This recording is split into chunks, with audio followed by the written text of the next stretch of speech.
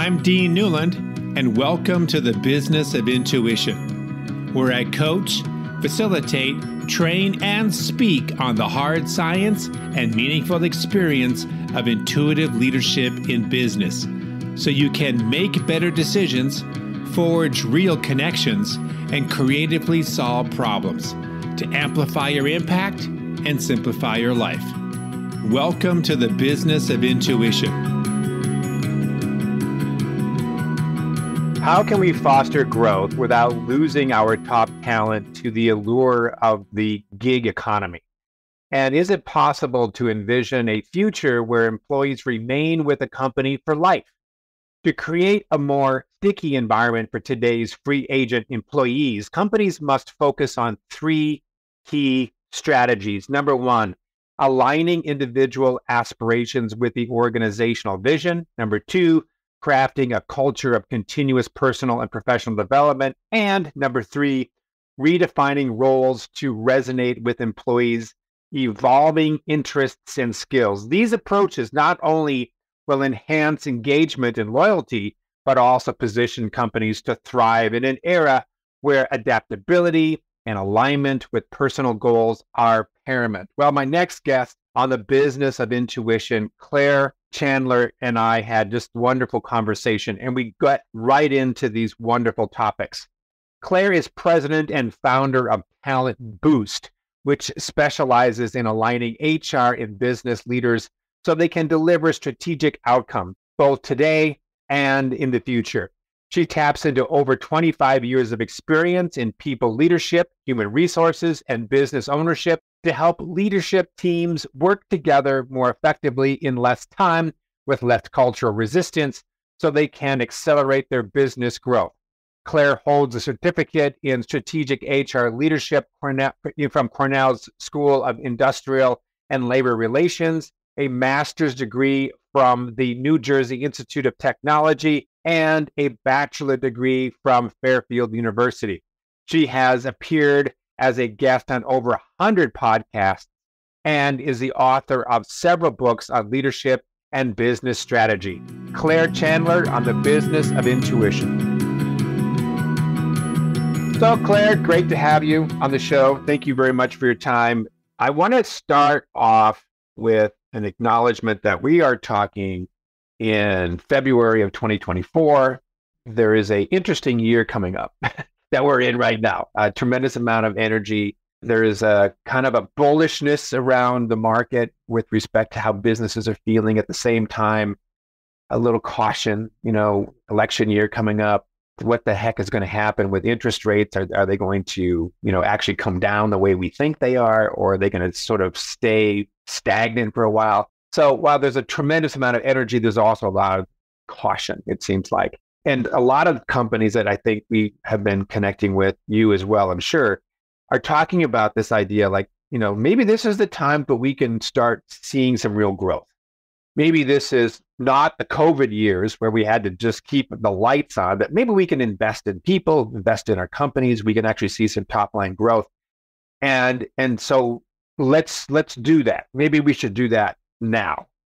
You have a point of view that maybe growing could also be a possibility where we could lose some good people. And when I saw that on your website, I thought, hmm, I think she's onto something, but I don't know what you're onto. So could you explain why is growth sometimes a situation where people are concerned about losing their top talent? How are those two connected?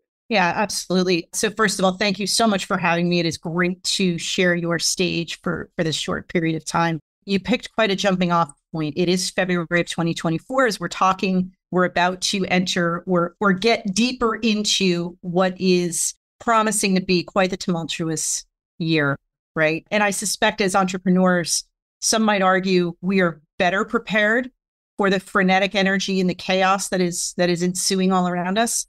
But some might argue, well, we we already have shiny object syndrome, we're control freaks, and to enter a year of unmitigated chaos might not be great for entrepreneurs. Who knows? That remains to be seen. I, I, I, think the last four years have proven to us that we don't actually know what's going to happen in our future. The best we can do is prepare and pivot, right? But that leads to companies that are trying to grow. I think now that we are a couple of years removed from the height, or should I say the depth of the global pandemic. Most companies that not only survived that globally shared experience, but have come out the other side with a fresh perspective are now reinvigorated around how are we going to grow? Because it is true that businesses have two choices. They either grow or they die, right? There is no longer, we no longer live in a time where companies can just tread water, maintain status quo, think that their talent that they have is going to stay for a variety of reasons. But when I narrow it into the topic around talent, I think one of the realities that we are facing, especially since the pandemic, is that the tenure of your average employee, whether they are an individual contributor, boots on the ground, or an executive leader, seldom do employees, and it's not not that every employee is like this, but more and more employees and leaders are only staying within an organization for a fixed period of time. What is that fixed period of time? Is there an average? Is there like a mean? Well, so for yeah, so for executive leaders, it's somewhere between four and five years. For people, I don't want to say lower down the hierarchy, but there's really no other way that I can think of to describe it. They do tend to stay a little bit longer, but it's a candidate's market right now. You know, most employees that I talk to, if they are not actively looking for a job, which we've known for years, you know, all the statistics about it. Think it's over a third of employees start to look for their next job on day one of their of their new job, right? They're constantly testing the waters. I think even more so now because so many organizations had to pivot, so many organizations did not survive or did not evolve sufficiently through the pandemic. And the ones that did, the ones that embraced the hybrid workforce, the flexible working, the virtual uh, workspaces, all of those sorts of things, are in a little bit of a better position to attract talent. What's interesting is before the global pandemic, right before the pandemic, right before the lockdown, I was working with clients, and most of them were working on strategic plans. And when I tell you they were looking at a 20 year horizon for their strategic plan, that seems ridiculous now, right? To think that we could possibly build a strategic plan that looks 20 years out and it's remotely going to be in line after year three is ludicrous in hindsight. And so now that we're out of the the height or the depth of the of the global pandemic, most organizations are sort of putting putting that view out of their minds and they're saying realistically, we can look ahead maybe 5 years, but really it's 3. Let's really nail down what our 3 to 5 year outcomes need to be and build plans and build roadmaps and build teams around that. But what's interesting is now that we are through the worst of the pandemic, and organizations are shifting back to not just surviving, but thriving and growing and expanding. They're also realizing that growth is going to come more effectively through mergers and acquisitions, through expansion into new geographies or business lines. Most organizations, not all, but most organizations are understanding that they will not impact the market, let alone their culture, in the right direction, one new hire at a time that the way to grow in a sustainable way is to do that by joining forces, by combining, by expanding, by, you know, diversifying and all of that. But you combine that sort of growth, that sort of, you know, we're not going to stay the way we always have been because we have to evolve or die, with the fact that the tenure of the average employee, let alone the executive leader, has dwindled. That makes for a lot of inconsistency. That makes for a lot of uncertainty. And employees are are finding that they have options. Even if they love the company that they're in, they have options to go and try something else because if nothing else, this globally shared experience of the pandemic taught us that life is too short. And they are understanding that, I think, now more than ever. So, is your argument then that the reason why growth can sometimes cause employees to want to leave is because of the change involved the inconsistency of things that come from growth, either through a merger. Now we have another culture being merged into ours and we have to recreate ourselves, or because simply growth itself creates change and chaos and all the other things that go with it. And ergo, maybe I don't want to sign up for that and I'd like to go someplace else. Is that kind of what you're saying? Yeah, I, I mean it's it's it's those things. It is the innate human resistance to change that hasn't right. hasn't changed, right? Right. It is our natural instinct to resist change because the way we survive is by sticking with the devil that we know. Right. But I think also organizationally, companies have learned that they do need to adapt. It's not just about growth for the sake of growth. They need to adapt. They need to be to, to be more agile. They need to be able to pivot and evolve. But the missing step that I have found that is serving as a bit of a catalyst or an inspiration for employees to explore other options is that as they grow, as they pivot, as they change as an organization, they're not necessarily and intentionally bringing their employees along in the journey. And what I mean by that is it's not about, well, we want to make sure we, retain talent. Employees aren't looking, like I said, the tenure is shrinking, right? So employees are not necessarily just looking for a company to hang out with, regardless of how you might pivot or grow or change or combine with another organization. Employees are now looking for a company they can believe in and a working environment where they feel that they belong. So, so, so that ground has shifted. So let me ask you this: is uh, before you get down to the next yeah. step here. This is an important thought. Yeah, I think you were saying that people want to believe in the company, that they want to feel a part of it, um, which is the, the lack thereof is what might cause people to consider moving on to places elsewhere. Get it? Are you suggesting that companies, when they're pivoting and growing, would more involve their employees in what that looks like? Because normally, what happens with major changes, it's, it's top down versus a bottom up. Oh, guess what? We're changing. We're going to merge. Oh, guess what? We're going to bring on these smaller partner companies. Oh, guess what? We're going to try to improve our top line revenues by 20%. So we're going to double down on sales and marketing and new product development, whatever. That's often a top down sort of discussion that then the lower level, quote unquote, employees have to figure out how the heck to do that. Are you proposing that they might need to engage those people who are going to be actually making this happen, be a part of those design conversations up front? They don't necessarily need to be invited or involved in the design conversations, but they do need to be brought into the loop earlier on. Now, a lot How of people yeah, well, here's the thing: because a lot of people in your audience are going to hear that and say, "Yeah, but you got to understand, with a merger situation, there's a blackout period, and we can't right. talk what we're doing." Right? NDAs are written, all that. Yeah, hundred percent. But here's the thing: what you can share with them is that journey of what that future looks like. That you know, while we may not be able to talk about certain pieces of our strategy right now, let's bring you into our vision for the future. Right? Simon Sinek, sure you've heard of big yeah. thought leader in the space of start with why, right? Right, right. The concept that he has built an entire enterprise around is actually quite simple. Right. Which is, you know, every every organization knows what they do. Most organizations, if they've been around a while, have figured out how to do it. Yeah. But it's the ones that stand apart are the ones that truly understand and connect to why it is that they're in business in the first place. And so I think that is the it's not the missing link organizations eventually get around to you know their communication rollout strategy where they're going to tell the employees why we just merged with that company or why we expanded into this next you know department division geography business line etc but it's really about getting out in front of that and painting that future horizon that people can feel connected to on a personal level all right so let me uh, buttress what you just said you said earlier that companies are no longer thinking strategic plans, you know, 10, 15, 20 years out. They're really shrinking it down to the next two years, three years, maybe five years if they're lucky. And I would also think, though, and I do believe in this very wholeheartedly, that there is a difference between a strategy and a vision. And the vision is more in line with what Sinek is talking about in terms of why. And a vision could, in fact, be many years out, could even be 40 years out, because these are visions that are not sustained, not, no, these are visions that cannot be accomplished, maybe even in one life.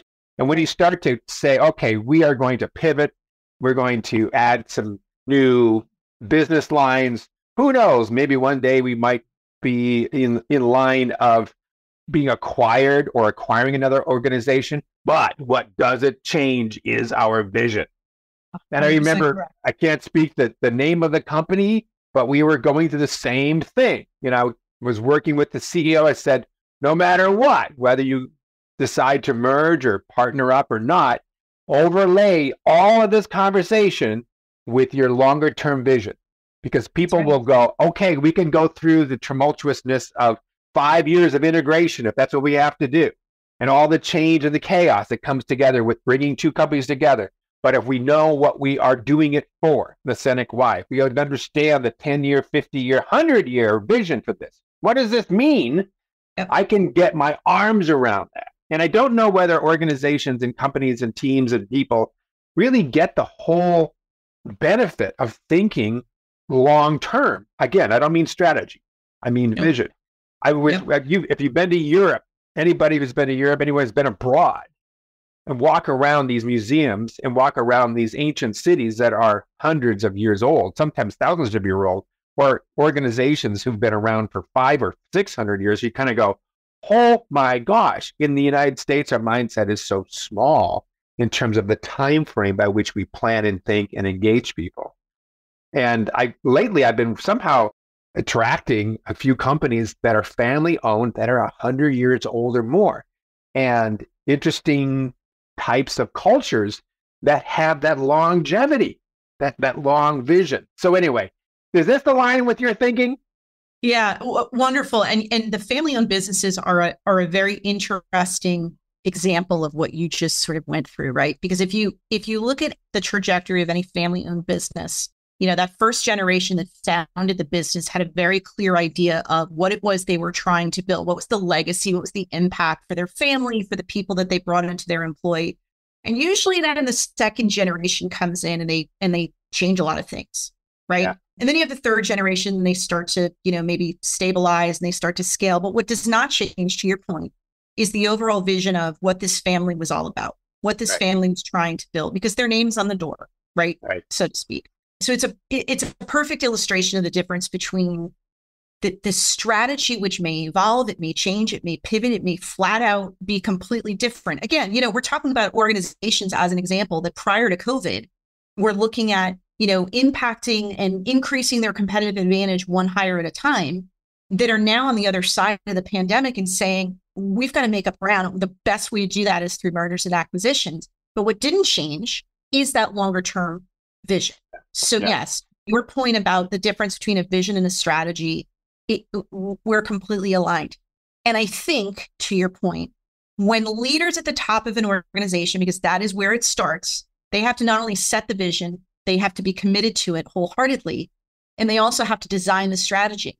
But when they are more intentional, more proactive about bringing employees into the loop in terms of that longer term vision, earlier on helping people connect their own personal motivations, their own internal why with the organizational why.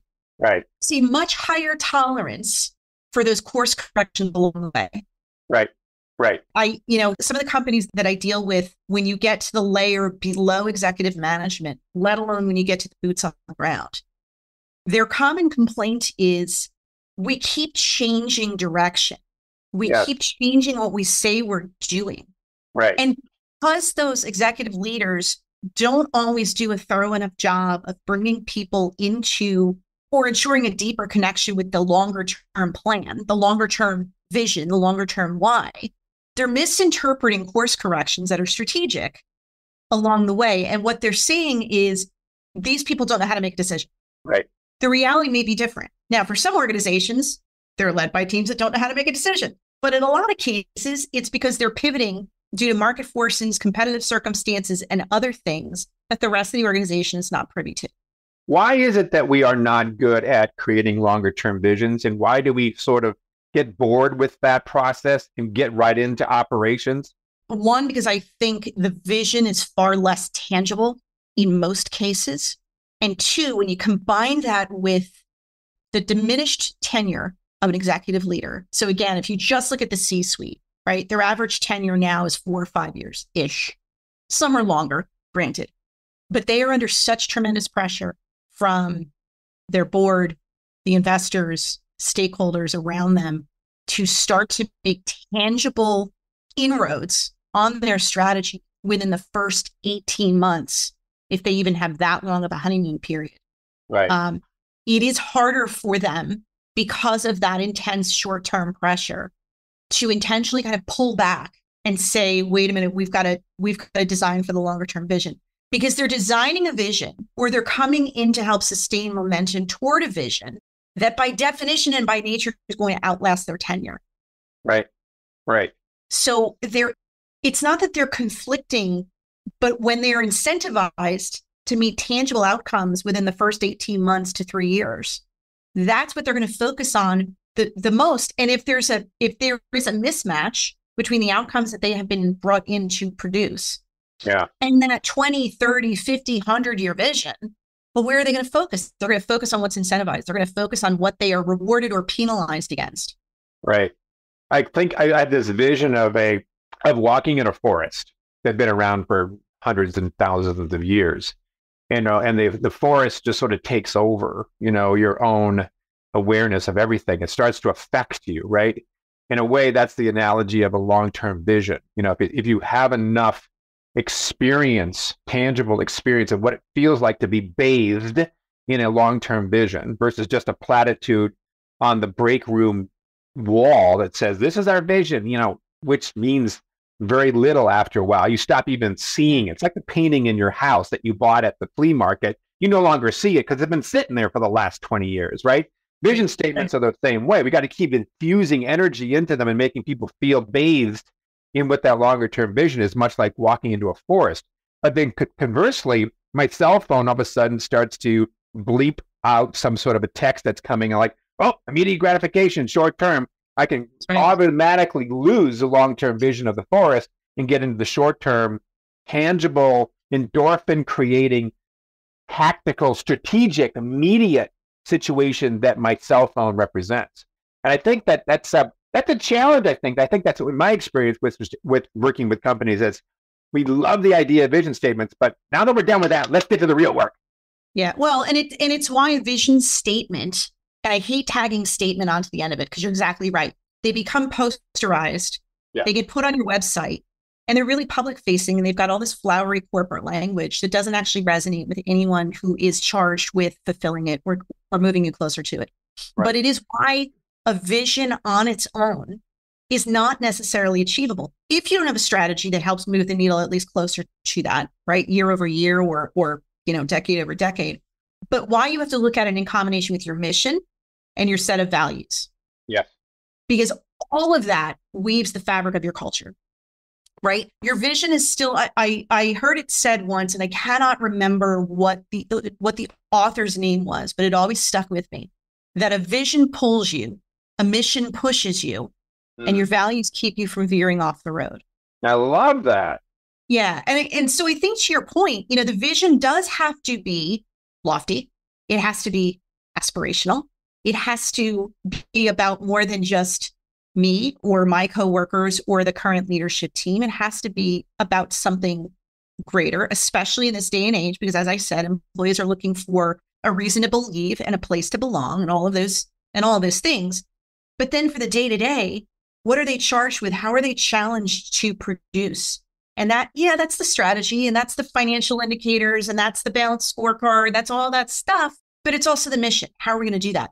Right. And then the values come into play because I think if the if the vision, you know, visions can evolve over time, but they really shouldn't materially change if you know you you really are dialed into your why, why you're in business to begin with. But the values are what are going to orient people to what is acceptable, what is rewarded, what is tolerated, and what is going to be the the hallmarks of our organizational culture. Right, so those have to work in combination. I get it. Wonderfully uh, laid out there. Two questions, somewhat related. One, how do we engage people in the intangibility of a longer term vision, which to your point might be part of the stickiness that allows a person to stay at a company through times of pivoting and change and growth. So that's one side of the equation. Like, what does a company do to create that ability for a person to go, oh, I'm walking through the forest of the vision and I really get the tangible I get the benefit. I can feel it, right? That's one side of it. The other side of it, and I do think that there's a lot of emphasis that companies and podcasts and book place on the responsibility of the company to create these ecosystems by which these people called employees come in engage with us. And if the ecosystem is well developed, they will then decide to participate or they won't. They will go somewhere else. Free agent nation, right? Uh, to your point, quoting what was it, um, Dan Pink, I think, who wrote that book many years ago. On the other hand, though, we don't spend a lot of time talking about the employee relationship to the company in terms of their responsibilities for that side of the equation.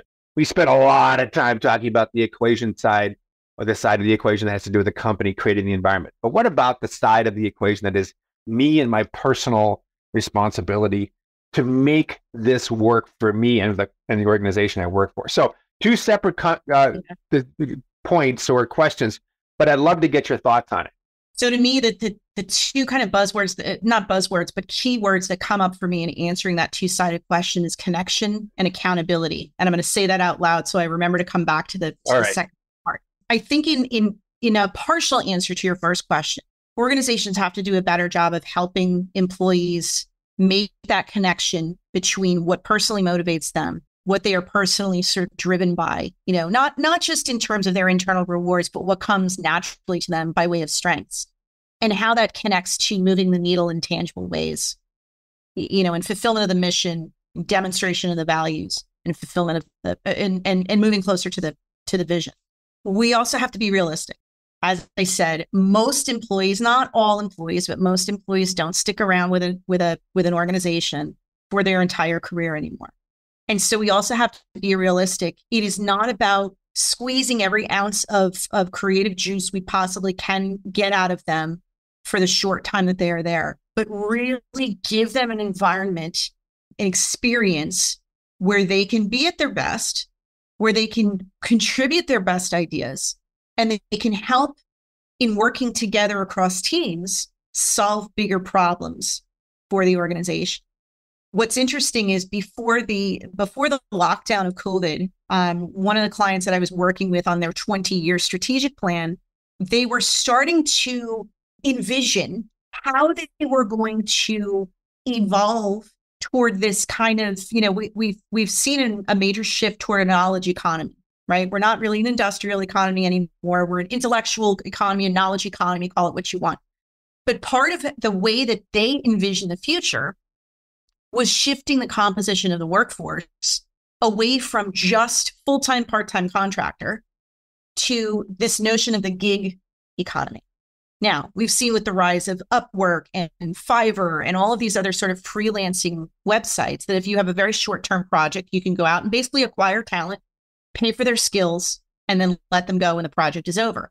Well, organizations are now starting to look at that and saying, how do we how do we embrace employees through that same lens to say how do we appreciate how do, first of all how do we how do we understand how do we measure what their skill sets are what their talents are what their motivations are and then how do we put them in a path where they can play to those strengths as much as possible so that they're more fulfilled more productive more engaged happier maybe stay longer and while they're doing that they're more willing to work across the aisle with the rest of their teammates and colleagues to solve those bigger problems which will then put you on the right road toward fulfilling your growth strategy, right? So there's this sort of connection piece. But the second part, that second question comes to accountability, because you're right. It is not just up to the organization, the executive leadership, or even the direct people managers to give the employees all the answers. It is incumbent upon them to ask better questions. It is incumbent upon them to create an environment where employees do feel like you know, I'm kind of tired of the platitude of we want you to bring your best, you know, your your fullest, most authentic self to work.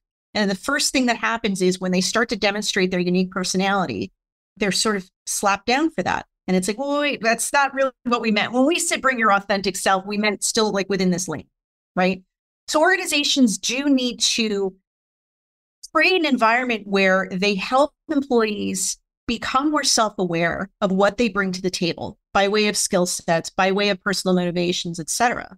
But then also we live in a time where technology can aid us. We can give employees platforms where they can drive their own development, right? Where they can learn at a higher level, where they can hone their skills into job specific roles and duties and accomplishments that move the needle collect.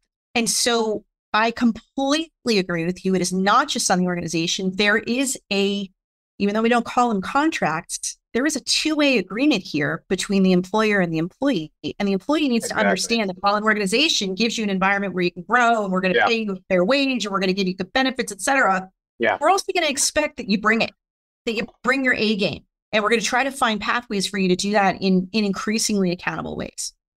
Yeah, and there may have been a, a, a pendulum that's moving in a direction towards we have to coddle the, the employee more so than what's probably best for them but for the organization. Think about parenting skills. You know, we need to say there is a time by which this behavior isn't going to work and we have to, you know, do something to address it or move you out or what have you. And I do think that we've moved a bit in that direction and we have to continue to look at the other side of the equation, which is what is the employee's responsibility moving forward here. And then, then of course, that gets into things that we don't want to have, which is about accountability conversations, which is a cousin to conflict, and conflict hurts, and therefore we're concerned about you know saying something that's going to upset somebody. They might leave, and we don't have enough people as it is because the talent market is so short. And we got five people, and we still have open recs for, and like, well, we don't want to lose this person because you know we got to have somebody, even though they don't work well. Let's don't lose it, right? So, so, so you just articulated the inner dialogue that happens between the ears of just about every people manager I've I'm sure, right? Because you're right, like it's it's a lot and we're asking you know people managers to do a lot it's it's a tough job and what i'm finding is because i'm working with clients right now around that is, is is how do we increase the competence and the confidence of people managers because what we're finding is you know everybody sort of says well people need to get better at conflict resolution and while that's true we actually need to resolve the skill gap that's a little bit farther upstream which is not only are they resisting addressing conflict in their teams, they're actually avoiding earlier conversations. Oh, yeah. You said something before about sort of this accountability of, of saying, like almost drawing a line in the sand and saying, okay, but after today, we won't tolerate that behavior. Yeah. And I think for some people managers, they keep moving that line because they don't want to have to have that conversation. You know, they're convincing themselves, well, we hired adults, they're going to figure it out. They're going to know like the right thing to do. But the first time you avoid addressing somebody who violates the values that you've set, or the behavioral norms that you're trying to reinforce, or the culture that you're trying to nurture, and you say, well, they didn't know, they're new, this is their first strike, you're allowing it to build up. Right. As one of the leaders that I respect highly always said, you get what you tolerate. And it's Bingo. true, right? It's true. Yeah. And I think that what you're saying is upstream of conflict and accountability is clarity of expectations. 100 and consistency. Consistency. And I just had this conversation with a group, you know, last week where you've got expectations that are task oriented, you know, the things that I have to do for the job, for my manager, for the company. And then there's, you know, EQ or emotional intelligence or behaviors, which is also we have expectations around how we, you and I work with each other. I like, you know, transparency. I like email versus texting, you know, all the way, all the way up to the team and the and the organization. And I think that um, before we really address conflict and accountability, we have to ask ourselves: Have we been clear about expectations and consistent? And you've been through this. I mean, everybody's been through this. I was just talking to somebody recently about this. We were unpacking a particular employee about why they were having problems with this person and I kept dig- digging and digging into, you know, the history of that relationship. And it found out that they did a pretty poor job of onboarding them. They didn't know they were coming into a new culture, you know? Now, yeah, one could say there's a certain culpability on the side of the employee that they could figure this stuff out, but we haven't done a good enough job of really telling people this is how it is here. And this is what, what I expect, the team expects, and so forth.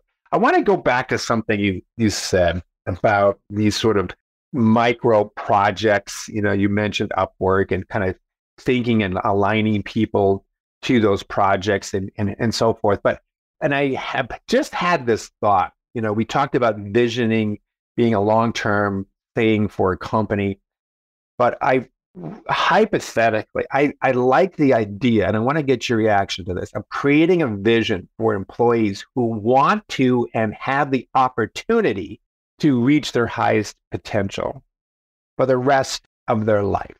That we go against this free agent nation mindset that we've almost sort of said, it is the way it is. I can't expect my senior leaders to last any more than four to five years. I can't expect my people below them to last any more than eight years. So let's just get into the mindset that that's what it is. And we therefore we develop systems and processes and behaviors that sort of in unintentionally support that. And then we justify when somebody leaves because, well, you know, they did spend six years here. That's not bad. We should count that as a win. versus wait a minute. What if we had the vision to say, again, it's a big, hairy, audacious BHAG of a goal. But what if we were to say, as an organization, we are going to have a vision that everybody who walks in here wants to and can be fully engaged and meet their highest and best potential for the rest of their life. Now, is it possible all the time? Hell no. But does the mindset start opening up new possibilities for systems and processes and incentives and coaching and blah, blah, blah, blah, blah, and putting people in the right places and setting themselves up for success because of our accountability and our conflict resolution and setting expectations and being able to put people in new roles and move them around to different places and have them experience this and this and this. I don't know. I just thought of it. What do you think? Yeah. Well, it, it's it's BHAG for sure. Um, it's BHAG. I get it. But, but what's interesting is rather than having the the reflex reaction to that to say that can't be done and look at all the chaos that that would invite picture the the concept, like visualize what just happened when you just removed the ceiling. You right. just removed the ceiling against which people are inevitably going to bump because they have an average tenure or the average skill set or this or that or the other. Or our organization is not designed to deviate from. So I'm going to go on a soapbox for a minute. The job description. So many organizations are still trying to manage people to a to a job description. Totally understand. Versus let's let's understand what it is that that employee walked in the door knowing understanding believing etc yes we need them to fulfill the, the the basic obligations and outcomes of the job that we were that we hired them for. Totally get it. Yeah. But let's stop backfilling and let's start hiring for the skills the mentality the motivations the values the behaviors that we want going forward right and let's deeply understand what it is that they bring to the table from a natural talent perspective, from a motivation perspective, from how they prefer to work. Right. And then here's the thing I know this is revolutionary. Let's modify the job description over time to better align with what they want to do. Because what's happening instead is organizations are trying to revise the person. Right. And it is a lot easier to update a Word document that a job description is in than to try to update the DNA of a person who's trying to fulfill it. And again, the job description is useful because it becomes the seat of expectations, which then flows accountability, measurement, all the other things, performance management, you know, succession planning, blah, blah, blah, blah, blah. Get that. I hear, I hear you. But let's pivot that. Let's just like we pivot our organizations to new growth opportunities. Why not we pivot job descriptions to fit the combined interest of the employee and what the organization needs at the same time and bring those two together. I, I think back to the uh, uh, the book years ago written by The Extraordinary Leader. And he was talking about the overlap of a person's passions, their skills, and the organizational needs. And where those three overlap, you've got a sweet spot. That's what we should be continuing to develop in people. And it might grow and evolve as they stick around longer. Sure. Now, of course, I get it. Project done. We have to close something down. We have to maybe say this is no longer a position that we need and there's there's no way we can put you somewhere else right but if we have the mindset to say we're going to our goal is to keep everybody here for the rest of their life then when they move on what it does is it triggers a conversation to say why why couldn't we keep them here well because and we have a good conversation about it. it becomes an after action review a post-mortem you know we yep. create an environment for an organization that is more about learning than execution, which ironically, the more you have in a learning organization, the more you execute, right? Right. All right. Well, and and and again, as BHAG as that is, yeah. look at where you started that thread of the conversation. You didn't start with, well, what if we modified a job description to do this? You started with the vision. Yeah. You said, exactly. what if we said we want everyone to be here for the rest of their lives and right. fulfill their ultimate lifelong potential? Right. That's what you started with. You didn't start with, well, what if we threw out all job descriptions and started with, you know, a exactly. different job? And that again, because by design, organizations have to be short term focused because that's how they're incentivized and that's how the executive team is structured. Yeah. Good, bad, different. They don't know how to. They don't know how to step out and say, a hundred years from now, what do we want this organization to be known for? Right. Right. What's the impact we want to leave on the world? And that's where I think family owned businesses, which have their own set of challenges, Oh yeah. kind of get it intuitively because they say, Yeah. what what what would our family be proud of behind our name if we were Right. to build a brand? Right. No, I totally get that. So, Claire, uh, this has been just a delightful, delicious, delectable conversation. Two, three Ds here, Well alliteration Well gone amok. Uh, if I were just to sort of bring this home, and it might be that you're repeating some things, which is fine. I'm listening to this. I'm in an organization. I'm a leader of a team, and we're going through growth, either because of just expansion, new products, new requirements for top line revenue. Maybe we're going through some sort of a potential merger. But what three things should I take away? Because I can't remember 50, but I might remember three. What would you say those three things I should remember as a result of your work and or this conversation? I think the, the absolute first do not pass go moment for any organization listening to this conversation is you, you need to get reacclimated to your why, your purpose, your vision and mission, uh, what I would call your aspiration. And if you if your reflex is to open up your browser and pull up your corporate website and go digging for your mission statement, you've missed the point. I think you absolutely every single leader throughout the organization needs to reacquaint themselves with what is what is your purpose, what's your aspirations. That's step one. I think step two is to is to also then reassociate yourself with who you feel your top talent is. And it's not all necessarily by rank or hierarchy.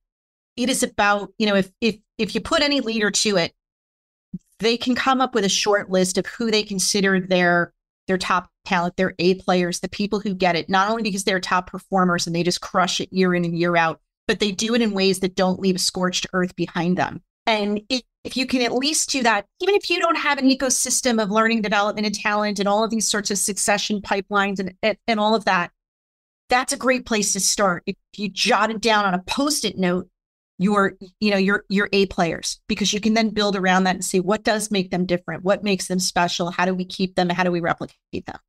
And then I think the third the third thing is again, you know, some of the life skills that leaders, especially in organizations in particular, need to continue to demonstrate and embrace are resilience and adaptability. I think COVID taught us that. I think the organizations that survived and came out of it even stronger a couple of years later realized that they had to be resilient. They had to pivot, yes, they had to do it in ways where they could come out stronger. They could learn from their missteps and they could bring along people who could forgive them for delayed decisions or maybe the wrong choice from time to time because they believe in what they are trying to build over the long term. Excellent. I like what I want to call out one last thing that you said that the middle one around finding and really cultivating your A players. This was some uh, suggestion I, I made to a client once is that those are the ambassadors in many ways of the culture and what good looks like. And so find ways to be able to, you know, even videotape little snippets about what makes what they do so successful. So we glean from them those stories and those anecdotes uh, so that that becomes an onboarding repository of maybe little videos that new people can come in and go okay so what is what does good look like here oh well watch this these three or four videos of the a players in our company whether you call them that or not probably is not necessary to call them that but you know it's a way to kind of de- you can see these people, not the HR person, not the training and development guy, not the guy that you bring in from mission facilitators or your company who does that, somebody who's internal, who tells a story about what it looks like. Great stuff. So, how can people follow you? And I know you got a book coming out, mention that. Let's hear about it. So LinkedIn is my social media of choice. Uh, you and I, if we are not already connected, we will, We got will to be. try that in short order. All right. Um, my, my two websites are talentboost.net, which is my company site. My personal brand site is clairechandler.net. And I would love for your audience to go and get on the waiting list for the book that is coming out. And they can do that at growthonpurpose.com. Fantastic. Claire, great to meet you. Great conversation. And wish you all the best success. Thank you. Same to you. I really enjoyed being here. Thank you for listening to The Business of Intuition. If you enjoyed the show, please subscribe, rate, and review on Apple Podcasts Google, Spotify, or wherever you get your podcasts. If you'd like to learn more about Dean or Mission Facilitators Leadership, go to mfileadership.com. That's mfileadership.com.